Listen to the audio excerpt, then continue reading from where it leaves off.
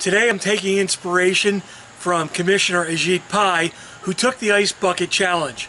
I'm challenging Hank Hunt, Todd Piett from Rave Mobile Safety, and Kevin Kennedy, CEO of Avaya.